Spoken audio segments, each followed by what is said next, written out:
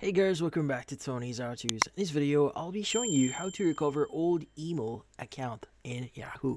Before we start, hurry up and check out these offerages under this video.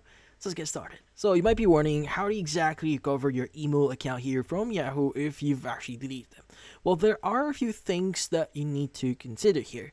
Now, to be speaking, in order for you to recover your Yahoo account here, you just need to go to yahoo.com click on sign in at the top right here and just provide your sign in details or your login details. Now you need to provide your Yahoo uh, email address as well as the password that you're using for it and do some verification here.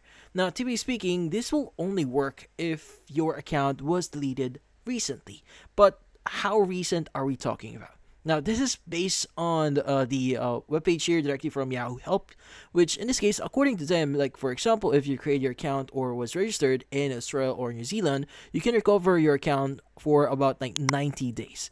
Now, for Brazil, Hong Kong, and Taiwan, or in India, you can recover your account for up to 180 days. Now, if you're in one of those regions or countries, well, you should be able to recover your account depending on where you are. Again, Australia, New Zealand, 90 days, and Brazil, Hong Kong, Taiwan, India, 180 days.